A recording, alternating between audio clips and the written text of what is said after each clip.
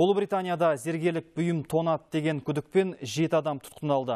Қамауға алынғандардың үшеуі зейнеткерлер, қолға түскендер 48 бен 76 жас аралығындағы азаматтар. Оларды ұстау операциясы Лондонның Хаттон Гарден ауданы мен Кент графтігінде жүргізіліп, бұл рейтке 200-дей полицей тартылған.